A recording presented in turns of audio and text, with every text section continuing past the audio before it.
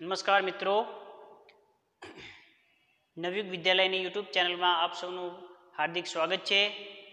મિત્રો, આપણે આજે વાત કરવાની છે ધોરણ દસમાં સામાજિક વિજ્ઞાન પ્રકરણ દસ જે ભારત અને કૃષિ, એટલે કે ભારત અને એના જે ખેતી છે એના વિશે વાત કરવાની છે, ભારત અને તેની કૃષિ વિશે. તો ભારત અને કૃષિમાં આપણે જોઈશું કે ભાઈ ભારતમાં કેટલા પ્રકારની ખેતી થાય છે કયા કયા પ્રકારે થાય છે અને કયા કયા પાકો થાય છે. અને પાકોમાં જે ટેકનિકલ સુધારા જે કરવા હોય તો ટેકનિકલ સુધારા છે એ અને સંસ્થાકીય સુધારા છે. આટલું જે છે એ આપણા ચેપ્ટરોમાં આવી જશે. પાકો જે છે કે જે મુખ્ય જે કૃષિ પેદાશ છે એને આપણે અલગ અલગ ભાગમાં ડિવાઈડ કરીશું. ડિવાઈડ કરવાનો મિનિંગ એ છે કે ભાઈ કેટલાક તેલેબિયા પાકો હોય, કેટલાક કઠોળ પાકો હોય, તો કેટલાક રોકડિયા પાક છે. તો કેટલાક જે મેં તમને વાત કરી કે ભાઈ અલગ અલગ પ્રકારના જે પાકો હતા, જે ફળફળાદી છે, શાકભાજીના છે, એ બધા જે છે, એ પ્રમાણે મૂળે આપણે કે ભાઈ એને જે પાકને કેટલા પ્રમાણમાં કેટલી જે વરસાદ જોઈએ છે, બરાબર, કેવી જમીન જોઈએ, એ બધું આપણે જોવાનું છે અને કયા રાજ્યમાં કેટલા પ્રમાણમાં એ પાક ઉત્પાદન થાય છે, બરાબર? તો આ જે પાકોની જે વાત કરવાની છે એની આપણે શરૂઆત અહીંયા આજે કરીશું.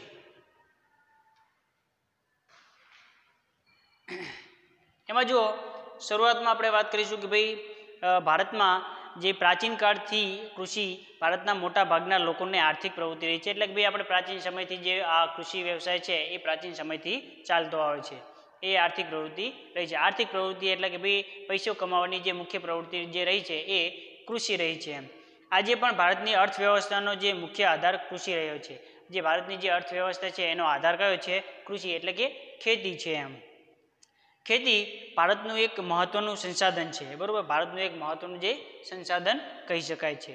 શ્રમ શક્તિના લગભગ જે ટોટલ જે શ્રમ શક્તિ આર્થિક પ્રવૃત્તિ સાથે જોડાયેલા છે, એમાંથી લગભગ સાહીઠ ટકા લોકો જે છે ખેતી સાથે જોડાયેલા છે. સોમાંથી જે સાહીઠ ટકા જે છે એ કૃષિ સાથે અથવા તો ખેતી સાથે જોડાયેલા છે. ખેતી કાર્યમાં જોડાયેલા છે. એટલે બધા ખેતી કરે છે એમ. એ ઉપરાંત જોવાનું છે કે ભાઈ ભારતના જે લોકો છે લોકોને માત્ર ખોરાક પૂરો પાડવા ઉપરાંત ઉદ્યોગો છે ઉદ્યોગો માટે જે વિવિધ પ્રકારના કાચા જે માલ છે, એ પણ ખેતીમાંથી જ મળે છે. મેં તમને વાત કરી, આપણે એક તો જે ખોરાક તરીકે તો આપણે ઉપયોગ કરીએ જ છીએ, એ ઉપરાંત ઉદ્યોગો માટેનો જે કાચો માલ છે, એ પણ આપણને ખેતીમાંથી જ અથવા તો ખેત પેદાશમાંથી જ આપણને મળે છે. આગળ જોઈએ જો કે ભાઈ, એક તો સાહીઠ ટકા લોકો જે છે, એ જોડાયેલા છે. ઉપરાંત રાષ્ટ્રીય ઉત્પાદનમાં કૃષિનો લગભગ ખાસ ધ્યાન રાખજો. આ બાબત જે છે એ નોંધ નોંધનીય છે કે ભાઈ જે રાષ્ટ્રીય જે આવક જે અથવા તો રાષ્ટ્રીય ઉત્પાદન છે, આપણું જે આખા ભારતનું જે રાષ્ટ્રીય ઉત્પાદન હોય, એમાંથી જો કૃષિનો જે છે એ બાવીસ ટકા જેટલો હિસ્સો છે. કેટલો? બાવીસ ટકા ભાગ છે, એમ કહી શકાય. કૃષિનો છે. નિકાસમાં પણ ખેતી પાકો અને ખેત પેદાશોનો લગભગ નિકાસ એટલે કે ભાઈ આપણે જે અહીંયા જે ઉત્પાદન થાય છે, એની જે બહારના દેશોમાં જે કરીએ છીએ, તો નિકાસમાં કેટલા ટકા ભાગ છે? તો એ આપણે અઢાર ટકા જેટલો હિસ્સો રહેલો છે. અઢાર ટકા જે ખેત પેદાશોની નિકાસ થાય છે. બાકી જે બચ્યું એ અલગ અલગ પ્રકારના ઉદ્યોગોમાંથી નિકાસ કરવામાં આવે છે. હવે જો જેનાથી દેશને દર વર્ષે વિદેશી હુંડિયામણ પ્રાપ્ત થાય છે, એટલે કે વિદેશી જે મૂડી પ્રાપ્ત થાય છે. અને ભારતીય અર્થવ્યવસ્થા મુખ્યત્વે ખેતી પર આધારિત છે. આમ ભારત એ કૃષિ પ્રધાન દેશ છે. તમને પ્રશ્ન પૂછાઈ શકે અહીંયા છેલ્લે જે આપ્યું કે ભાઈ, ભારત એ કૃષિ પ્રધાન દેશ છે વિધાન સમજાવો. તો આ બધી વસ્તુ તમારે લખવી પડે કે ભાઈ પ્રાચીન કાળથી આપણે કૃષિ સાથે જોડાયેલા છે લોકો, ભારતના લોકો. એ મુખ્ય પ્રવૃત્તિ આર્થિક પ્રવૃત્તિ જે કૃષિ રહેલી છે અને ભારતની અર્થવ્યવસ્થાનો જે મુખ્ય આધાર એ કૃષિ છે. એમાંથી આપણે વાત કરીએ કે શ્રમ શક્તિના ટકા લોકો જે કાર્ય કરે છે, એ લોકો ટકા કાર્ય જે છે ખેતી કરે છે. એ ઉપરાંત આપણે વાત કરીએ કે ભાઈ ખોરાક માત્ર નહીં, પણ ખોરાકની સાથે સાથે આપણે જે ઉદ્યોગો માટે કાચો માલ પણ આપણે જે ખેત ઉત્પાદનમાંથી મળે છે. જે મળે છે. એ ઉપરાંત આપણે જે વાત કરવાની છે કે ભાઈ રાષ્ટ્રીય ઉત્પાદન છે, એમાંથી બાવીસ ટકા ભાગ જે છે કૃષિનો છે અને નિકાસની જે પ્રવૃત્તિ છે, નિકાસમાં પણ જે અઢાર ટકા જે ભાગ છે એ કૃષિનો છે. આનાથી આપણને શું થાય છે? વિદેશી ઊંડિયામણ પ્રાપ્ત થાય છે. આમ આપણે કહી શકીએ કે ભાઈ ભારતીય જે અર્થવ્યવસ્થા છે એ મુખ્યત્વે ખેતી પર આધારિત છે. એટલે આપણે કહી શકીએ કે ભારત એક કૃષિ પ્રધાન દેશ છે. આ રીતે તમારે પ્રશ્નનો જવાબ લખી શકશો. હવે જો કે ભાઈ ફળદ્રુપ મેદાનો છે, બારે માસ પાક લઈ શકાય તેવી અનુકૂળ આબોહવા છે આપણે. આપણે અહીંયા ફળદ્રુપ મેદાનો છે, બારે માસ પાક લઈ શકાય એવી અનુકૂળ આબોહવા છે, સિંચાઈ છે, કુશળ અને મહેનતુ ખેડૂતો વગેરેને લીધે જે ભારતના મોટા ભાગના વિસ્તારોમાં બે કે તેથી વધુ પાકનું વાવેતર કરી શકાય છે. વાવેતર કરવું એટલે કે આપણે ઉગાડી શકાય છે એમ. તેમ છતાં ભારતમાં ખેતી ક્ષેત્રે પૂરતો વિકાસ સાધી શકાયો નથી. ભારતના જે ખેડૂતો છે, એકંદરે ગરીબ અને નિરક્ષર છે. ભારતનો જે ખેડૂત છે, કેવો છે? એકંદરે ગરીબ અને નિરક્ષર છે. સિંચાઈની અપૂરતી સગવડો છે પછી અનિયમિત અને અનિશ્ચિત જે વરસાદ છે, વધારે વસ્તી કુટુંબનું મોટું કદ છે, નાના કદના ખેતરો છે પ્રયોગશીલતાનું પ્રત્યેનું ઉદાસીનતા એટલે કે ભાઈ આપણે ખેતરોમાં વધારે પડતા પ્રયોગો કરતા નથી. જે આ વર્ષે પાક લીધો એ જ આવતા વર્ષે આપણે પાક લેતા હોય છે એટલે કે કોઈ જાતના આપણે એમાં એક્સપેરિમેન્ટ કરતા નથી એમ. બીજું જે છે કે ભાઈ જો રાસાયણિક ખાતર છે, સુધારેલા બિયારણ, આધુનિક યંત્રો અને વૈજ્ઞાનિક કૃષિ પદ્ધતિના ઓછો ઉપયોગ શિક્ષિત વર્ગનું જે ખેતીમાં ન જોડાય તેમજ સમાજમાં ખેતી કહેવાતો જે ઉતરતો દરજ્જાનો જે લીધે વૈશ્વિક ઉત્પાદનમાં સામે ભારતમાં ઉત્પાદનનું પ્રમાણ ઓછું છે. ભાઈ કે, ભાઈ કેટલાક લોકો તો એમ જ માને છે કે ભાઈ ખેતી તો કરાતી હશે કંઈ ખેતી જે આપણાથી થાય નહીં. આવું જે કે ભાઈ કહી શકાય કે ભાઈ ઉતરતા જે દરજ્જાને આપણે વ્યવસાય માનીએ છીએ ખેતીને એટલા માટે કે ભાઈ વૈશ્વિક ઉત્પાદન સામે ભારતનું ઉત્પાદન ઘણું ઓછું છે એમ. ખરેખર તો એક ખેતી એ મહત્ત્વનો વ્યવસાય છે એમ, બરાબર? હવે આપણે જે જોવાનું છે ખેતીના જે પ્રકારો છે, કયા કયા પ્રકારે આપણે ખેતી કરીએ છીએ એમ. ખેતીના પ્રકારોમાં જે જોવાનું છે આપણે કે પહેલી વસ્તુ છે, જે પ્રકારો કયા કયા પ્રકારે ભારતમાં ખેતી કરવામાં આવે છે. તો જો એક આપણને જે ખેતી આપેલી છે, જીવન નિર્વાહ ખેતી.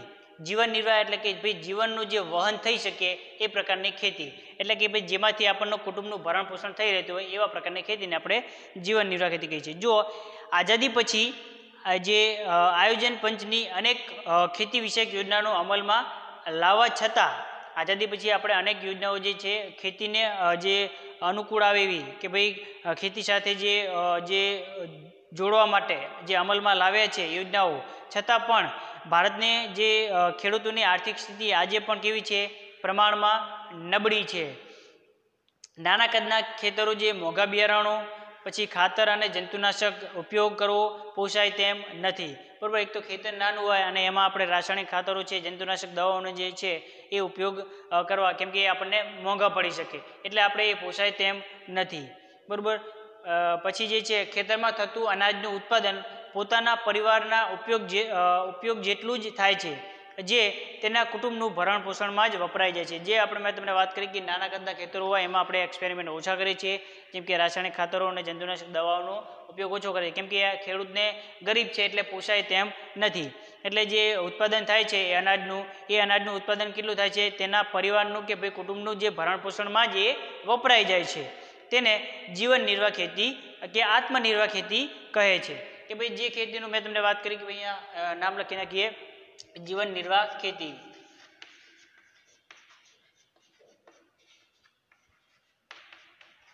આ કેવી ખેતી છે? નામ જ એમાં આપણને ખબર પડી જાય. જીવનનું જે નભે એટલું આપણું ઉત્પાદન કરતા હોઈએ તો એ જીવન નિર્વાહ છે. અથવા બીજું નામ છે એને આત્મનિર્વાહ. આત્મનિર્વાહ ખેતી.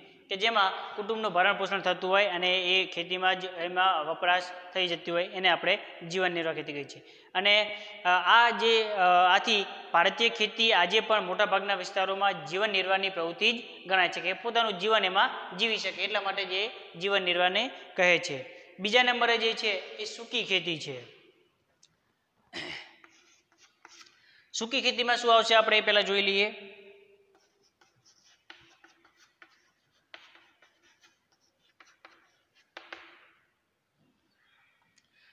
વરસાદ ઓછો પડે છે, સિંચાઈની અપૂરતી સગવડ છે અને માત્ર વરસાદ પર આધારિત હોય તેવા વિસ્તારોમાં તેવા વિસ્તારોમાં માત્ર જમીનમાં સંગ્રહાયેલા ભેજના આધારે જ એક જ પાક લેવામાં આવે છે તેને સૂકી ખેતી કહે છે. ખાસ ધ્યાન રાખજો, આની વ્યાખ્યા જે છે કે ભાઈ વરસાદ ઓછો પડે છે, સિંચાઈની અપૂરતી સગવડ અને માત્ર એક તો વરસાદ ઓછો પડે, સિંચાઈની જે જે સિંચાઈ છે, એટલે કે ભાઈ આપણે સરકાર દ્વારા, નહેરો દ્વારા પાણીની જે સગવડતા ઓછી છે, એ ઉપરાંત માત્ર વરસાદ ઉપર જ આધારિત જે વિસ્તારોમાં જે સંગ્રહાયેલા ભેજ, જમીનમાં જે ભેજ સંગ્રહાયેલો એના આધારે જ જે એક જ પાક લેવામાં આવે છે, તેને સૂકી ખેતી કહે છે. હવે વરસાદ ના પડતો ત્યાં સૂકું જ હોય, જમીન કેવી રહી જાય, સૂકી રહે. અને અહીંયા જે છે, માત્ર જમીનમાં જે ભેજ હોય, એના આધારે એક જ પાક લેવામાં આવે, એવી ખેતીને આપણે સૂકી ખેતી કહીએ છીએ. જો તેને સૂકી ખેતી કહીએ છીએ, અહીં જુવાર, બાજરી, કઠોળ જેવા પાણીની ઓછી જરૂરિયાતવાળા પાકો જે ખેતી થાય છે. હવે આમાં જે પાકો જે લેવાય છે, જુવાર, બાજરી બાજરી અને કઠોળ.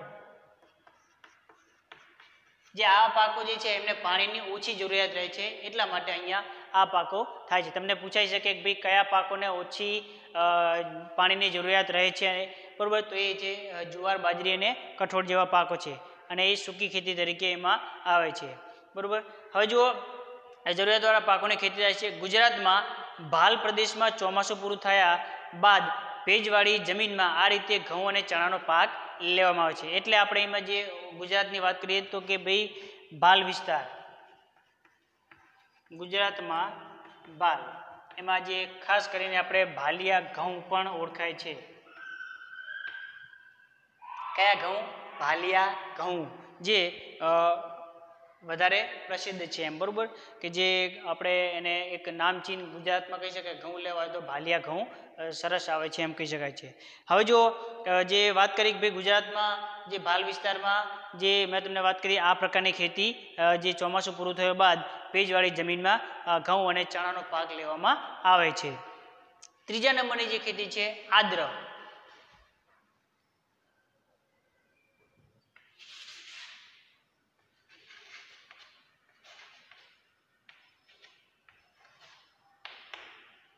આદ્ર ખેતી છે કે જો આ સૂકી છે તો એનું ઉલટું આદ્ર એટલે ભીની પણ થાય. ખાસ ધ્યાન રાખજો. જ્યાં વરસાદનું પ્રમાણ વધુ છે અને સિંચાઈની સગવડ પણ વધુ છે. બરાબર? પેલી બાજુ શું હતું? એક તો વરસાદનું પ્રમાણ પણ ઓછું છે, સિંચાઈની અપૂરતી સગવડ હતી, અને આ બાજુ છે એનો વિરુદ્ધમાં. સિંચાઈની સગવડતા પણ સારી છે અને જે વિસ્તારમાં વરસાદ પણ વધુ પડે છે. બરાબર? તેવા વિસ્તારોમાં આદ્ર એટલે કે ભીની. એ મેં તમને વાત કરી, ખાસ ધ્યાન રાખજો. ભીની ખેતી? ભીની ખેતી કરવામાં આવે છે. જો વરસાદ ન પડે કે ઓછો પડે ત્યારે સિંચાઈ દ્વારા વર્ષમાં એક કરતાં વધુ પાક લઈ શકાય છે. અહીંયા આપણે એક જ પાક લઈ શકતા લઈ શકતા જ્યારે અહીંયા એકથી વધુ પાક. એકથી વધુ પાક લઈ શકાય છે. બરાબર? જો, અને કયા કયા પાકો છે? એમાં જો, જેમાં ડાંગર છે, શેરડી છે ડાંગર, શેરડી વગેરે જે પાકો છે, કપાસ, ઘઉં અને શાકભાજીની ખેતી કરાય છે. બરાબર? આ જે થઈ ત્રીજા નંબરની. ચોથા નંબરની જે ખેતીના, જે કૃષિના પ્રકારો છે, ભાઈ ખેતીના પ્રકારો કયા કયા છે? બરાબર? એ ખાસ ધ્યાન રાખજો. હવે જો જે સ્થળાંતરિત ખેતી છે, અથવા તો ઝૂમ ખેતી, ચોથા નંબરની જે છે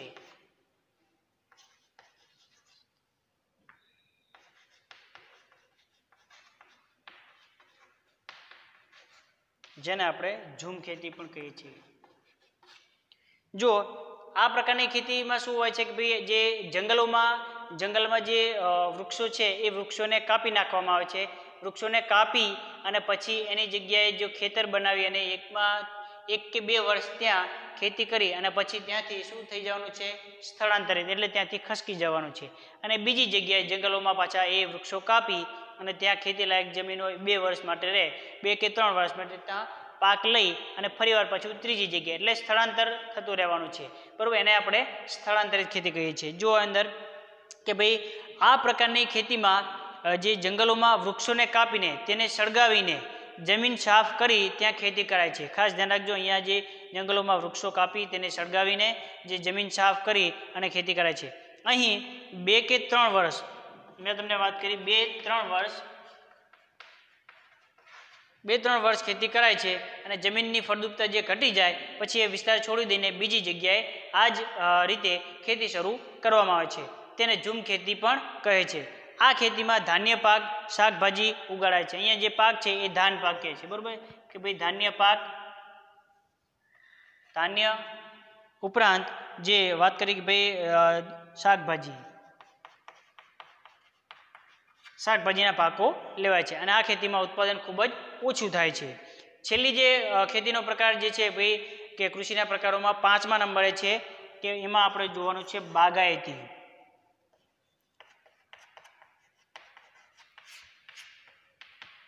બાગાયતી ખેતીમાં આપણે જોવાનું છે કે જો, કે ભાઈ બાગાયતી ખેતી એક ખાસ પ્રકારે થતી ખેતી છે. આમાં ખાસ ધ્યાન રાખજો, તમને પૂછાઈ શકે કે ભાઈ ખાસ પ્રકારે થતી ખેતીનું નામ આપો તો એક તમને પૂછી શકે તો એ બાગાયતી ખેતી છે. એમાં જો કે રબર છે, ચા, કોફી, કોકો છે, નારિયેળ છે, ઉપરાંત સફરજન છે, કેરી, સંતરા, દ્રાક્ષ, જે આંબળા લીંબુ, ખારેક વગેરે જે ફળોની ખૂબ જ માવજત સાથે ખેતી કરાય છે. અને આ પ્રકારની ખેતીમાં વધુ મૂડીરોકાણ, કુશળતા, તકનિકી, જ્ઞાન, યંત્રો, ખાતર, સિંચાઈ, પરીક્ષણ, સંગ્રહ પછી પરિવહનની પર્યાપ્ત સુવિધા હોવી જરૂરી છે. કે બીજો આ એક ખાસ પ્રકારની ખેતી છે, એમાં ચા, કોફી, રબર, કોકો છે નાળિયેર છે, ઉપરાંત સફરજન છે, વગેરે જેવા કે ભાઈ અહીંયા આજે આ પાકો લેવામાં આવે છે અને આને માવજતથી સાથે અને એમાં ઘણી બધી કુશળતા જે તકનિકી છે, યંત્રો છે, ખાતર છે, સિંચાઈ છે, પરી પરીક્ષણ કરવું પડે, સંગ્રહ જે હોય અને પરિવહનની સુવિધા પણ જરૂરી છે. છઠ્ઠા નંબરે આપણે જોઈએ સઘન ખેતી. જે છેલ્લો આપણો પ્રકાર, ખેતીનો જે વ્યવસાયનો છે, એ ખેતી પ્રકારમાં છઠ્ઠો જે છે, એ જોઈએ સઘન ખેતી.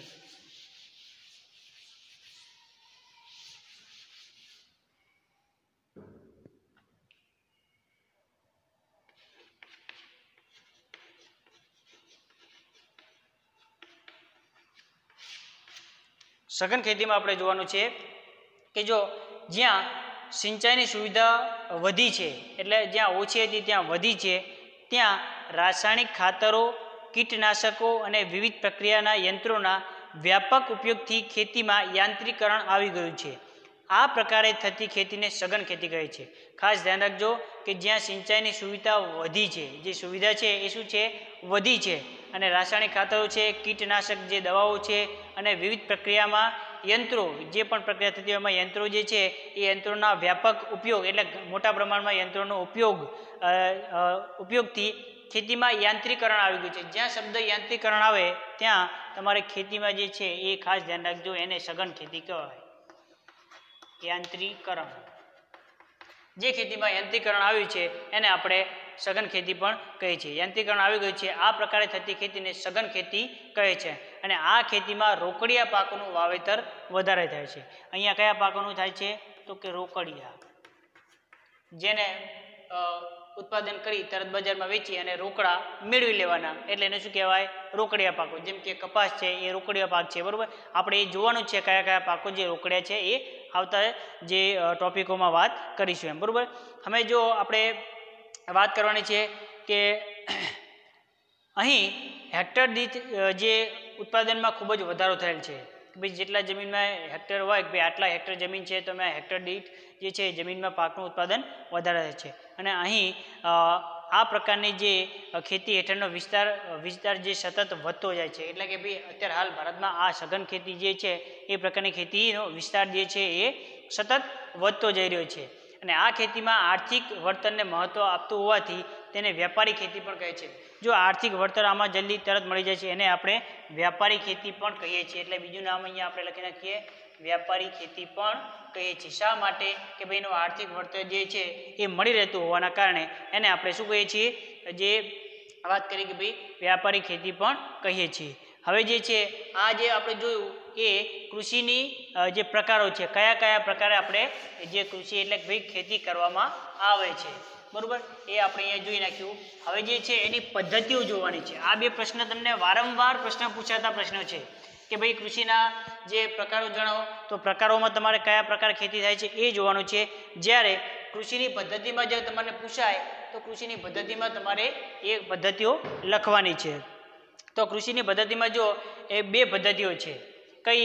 એક તો સજીવ અને બીજી છે ટકાઉ અને ત્રીજી જે છે એ મિશ્ર ખેતી. બરાબર? આ જે છે એ પદ્ધતિ છે. પહેલાં શું હતા? પ્રકારો હતા. પદ્ધતિ અને પ્રકારો બે એક સેમ ના થઈ જાય. એનું ખાસ ધ્યાન રાખજો. હવે જો ભારતમાં સજીવ ખેતી એટલે કે ટકાઉ, પોષણક્ષમ ખેતી, મિશ્ર ખેતી વગેરે વિવિધ ખેત પદ્ધતિ પ્રચલિત છે. એમાં ખાસ આપણે જોવાનું છે સજીવ ખેતી. કે જે પ્રમાણે જે પદ્ધતિઓમાં આપણે જોવાનું છે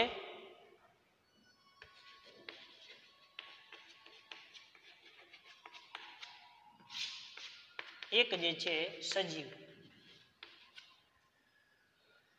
એમાં જો કે જે પ્રમાણે રાસાયણિક ખાતર અને કીટનાશકો વપરાશ થઈ રહ્યો છે થઈ રહ્યો હતો, તેનાથી જે રસાયણોની નુકસાનકારક અસરો પણ ધીરે ધીરે વર્તાવા લાગી છે. કે આપણે જે વાત કરી કે સઘન ખેતીમાં જે આપણે વાત કરી હતી કે યાંત્રિકરણ આવ્યું અને કીટનાશકો અને રાસાયણિક દવાઓ જે છે, એનો ઉપયોગ વધી ગયો છે. તો એના કારણે જો કે ભાઈ એની રસાયણોની જે નુકસાનકારક અસરો વર્તાવા લાગી ધીરે ધીરે. અને અનાજ છે, શાકભાજી તથા ફળોમાં જે રસાયણો અને જંતુનાશક હાજરીને લીધે, બરાબર, લોકોના સ્વાસ્થ્ય પર તેની શું વિપરીત અસર થઈ છે. આપણે નહીં કહેતા અત્યારે હાલ કશું શુદ્ધ મળતું નથી. કેમ કે બધામાં જે છે, એ આ રાસાયણિક પ્રક્રિયા કરેલી હોય છે. ક્યાંક ને ક્યાંક રાસાયણિક પ્રક્રિયા આવેલી છે, એટલે આપણે કહી શકીએ, કંઈ પણ વસ્તુ આપણને શુદ્ધ મળતી નથી. જો એની અસર થઈ રહી છે. પર્યાવરણ પર અને ભારે નુકસાન થઈ રહ્યું છે. જમીનની ઉત્પાદકતા અને ફળદ્રુપતા ઘટવા લાગ્યા છે. આ જે છે, રાસાયણિક ખાતરોનો એમનો બધાનો જે ઉપયોગ છે એ એને કારણે જે લાગ્યા જેના કારણે લાંબા સમય પછી જમીનમાંથી પાકનું ઉત્પાદનની ગુણવત્તા ઘટી છે. ઉપરાંત જોવાનું છે કે ભાઈ, હવે સજીવ ખેતી એટલે શું? તો સજીવ ખેતી એટલે શું? આપણે આ પ્રશ્ન એટલા માટે લાવે છે કે ભાઈ જે રાસાયણિક ખાતરો જે છે એના કારણે અને જંતુનાશક દવાઓના કારણે જે આપણે વાત કરી અનાજ જે ફળો છે, એને વધારે નુકસાન થયું છે, જમીનને નુકસાન થયું છે, જે જમીનની ગુણવત્તા ઘટી છે વગેરે જેવા ઘણા બધા નુકસાન થયા છે, બરાબર? જે ફળદ્રુપતા ઘટી છે એના કારણે. તો હવે સજીવ ખેતી એટલે શું? એને આપણે જોવાનું છે. સજીવ ખેતી એટલે ખેતીની એવી પદ્ધતિ જેમાં યુરિયા કે બીજા કોઈ પ્રકારના રાસાયણિક ખાતરો અને જંતુનાશકનો ઉપયોગ કરવામાં આવતો નથી. મીન્સ આપણે ઇન શોર્ટ કહી શકીએ કે ભાઈ જેમાં રાસાયણિક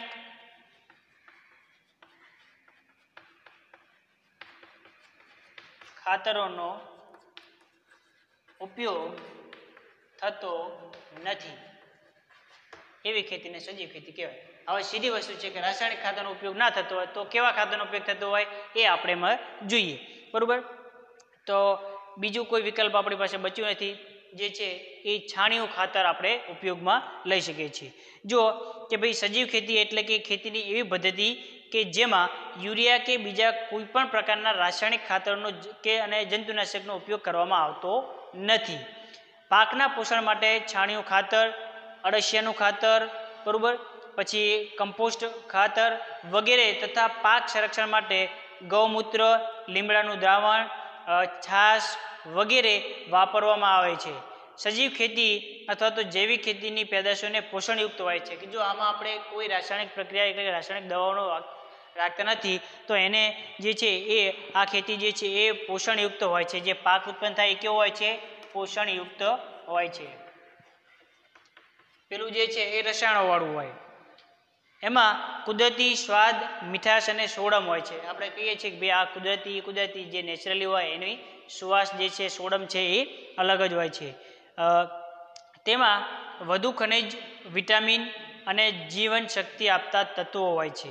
જૈવિક ખેત પેદાશોની અત્યારે ખૂબ જ માંગ છે, એટલે ખેડૂતને વળતર પણ સારું મળે છે. જો સજીવ ખેતી તમારે જે સજીવ ખેતીની જે પદ્ધતિ છે, એ પણ એક અગત્યનો પ્રશ્ન તમારા માટે બની રહેશે. પદ્ધતિઓમાં પહેલું જે છે, એ સજીવ છે. ખ્યાલ આવ્યો? હવે આપણે અહીંયા બે પ્રકારના પ્રશ્નો ઉદ્ભવે છે કે ભાઈ પદ્ધતિઓ પૂછાય તો આપણે જે સઘન ખેતી સુધી લખવાનું છે, એમાં સજીવ ખેતી લખવાનો છે. આ પ્રકાર નથી, આ પદ્ધતિ છે. બરોબર? કે જેમાં આપણે રાસાયણિક ખાતરોના બદલે શું કરીએ છીએ? કુદરતી ખાતરો જે છે, ભાઈ છાણિયું ખાતર છે, અળસિયાનું ખાતર છે કમ્પોસ્ટ ખાતર છે, એ પછી આપણે વાત કરી ભાઈ લીમડાનું દ્રાવણ છે છાશ છે, એવો બધો ઉપયોગ કરી જેમાંથી આપણને કુદરતી મીઠાશ પણ મળી શકે છે. બરાબર?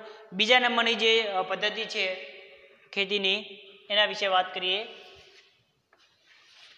તો એ છે ટકાઉ ખેતી.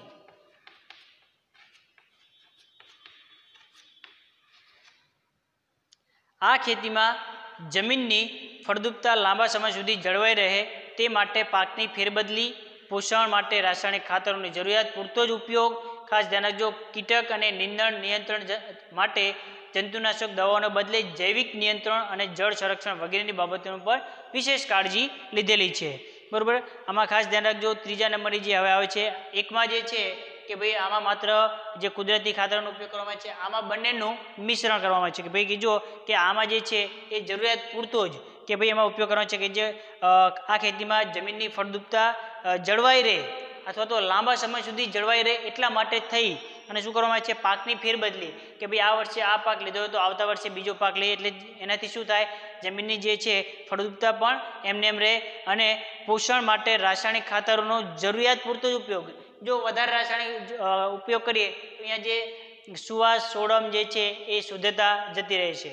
એટલા માટે જે જરૂરિયાત છે એટલા એટલાનો જ ઉપયોગ. પછી કીટકો છે અને નિંદણ નિયંત્રણ વગેરે જે પ્રક્રિયા પણ એમાં કરવામાં આવે છે. ત્રીજા જે પ્રકારની જે છે એ મિશ્ર ખેતી છે. મિશ્ર ખેતીમાં આપણે જોઈશું, આ ખેતીની સાથે સાથે પશુપાલન મરઘા બતકા ઉછેર મધમાખી અને મત્સ્ય જે ઉછેર જેવી પ્રવૃત્તિ કરવામાં આવે છે. આમાં તમારે સરળતાથી યાદ રાખવાનું છે. ખેતીની સાથે સાથે શું કરવાનું છે કે ભાઈ પશુપાલન પશુપાલન છે, મધમાખી, મત્સ્ય,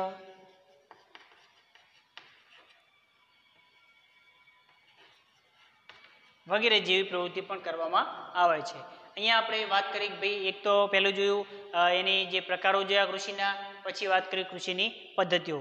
છેલ્લે જે છે, એક આપણે ટોપિક છે નાનો, ભારતની કૃષિ પેદાશો. એમાં ત્રણ પ્રકારના આપણે અહીંયા પાકો છે. એ તમારે જો કે તમારે પાઠ્યપુસ્તકમાં તમે જોઈ શકો છો કે ત્રણે ત્રણ એ આપેલા છે. એને આપણે એકવાર જોઈ લઈએ કે કેટલા કેટલા સમયગાળો છે અને કયા કયા પાકો એને ઓળખવામાં આવે છે. પહેલું જે છે કે ભાઈ ખરીફ પાક છે. આપણા જે ભારતના જે ઋતુઓના સંદર્ભમાં કૃષિના પાકને ત્રણ વિભાગમાં વહેંચેલા છે. એટલે કે ભાઈ ભારતીય ખેતીના જે પાકો છે એને ત્રણ ભાગમાં વહેંચેલા છે. એક તો ખરીફ, રવિ અને જાયદ. એમાં જે ખરીફ પાક છે એને ચોમાસું, રવિ છે શિયાળુ અને જાયદ જે છે એ ઉનાળુ. હવે તમારે નામ તમારે યાદ રાખવા જરૂરી છે. ખરીફ ચોમાસું યાદ રાખજો, રવિ શિયાળુ અને જાયદ જે છે એ ઉનાળુ. હવે તમારે આની જગ્યાએ જો મેં તમને વાત કરી જે ખરીફ જે છે એ ચોમાસું, તો ચોમાસાની જગ્યાએ ખરીફ પાક પૂછી લે શિયાળાની જગ્યાએ રવિ પાક પૂછી લે અને ઉનાળાની જગ્યાએ જાયદ પાક પૂછી લે. એટલે ઉનાળામાં જે થતું હોય એ જાયદ, શિયાળામાં થતું હોય રવિ અને ચોમાસામાં થતું હોય એ ખરીફ. હવે જો ચોમાસામાં લેવામાં આવતા પાકને ખરીફ પાક કહે છે. પાકનો સમય જૂન, જુલાઈથી ઓક્ટોબર, નવેમ્બર સુધીની છે અને એમાં જે પાકો છે એ ડાંગર છે, મકાઈ છે, જુવાર છે તલ છે, મગફળી છે વગેરે પાકો લેવામાં આવે છે. જ્યારે રવિ પાક છે એ શિયાળામાં લેવાતો પાકને રવિ પાક કહે છે. એનો સમયગાળો જે છે ઓક્ટોબર, નવેમ્બરથી લઈ અને માર્ચ, એપ્રિલ સુધીનો. એમાં ઘઉં, ચણા, જવ, સરસવ, એરંડા વગેરેનો રાયડો છે વગેરે ઉપયોગ કરાય છે. ત્રીજું જે છે એક ભાઈ જાયદ પાક છે, એટલે કે ભાઈ ઉનાળો પાક છે. તો આ ઉનાળામાં લેવાતા પાકને આપણે જાયદ પાક કહીએ છીએ. પાકનો સમયગાળો જે છે, જૂન સુધીનો છે, બરાબર? અને આમાં પાક જે છે, એ ડાંગર છે, મકાઈ, મગફળી, તલ, બાજરી, તરબૂચ, કાંકડી વગેરે જેવા પાકો લેવામાં આવે છે. હવે જે છે મિત્રો, આપણે આવતા વિડીયોમાં વાત કરવાની છે કે ભાઈ કૃષિના પાકો જે છે, એ એટલે ભારતીય ખેતીના જે પાકો છે, એ પાકોને આપણે અલગ અલગ એમાં ધાન્ય પાકો જોવાના, કઠોળ, તેલીબિયા, પીણા, રોકડિયા, ઔષધીય પાકો છે, ફળ છે, શાકભાજી છે, આ જે પાકો છે, એમાં આપણે અલગ અલગ પ્રકારના પાકો વિશે આવતા વિડીયોમાં મિત્રો વાત કરીશું.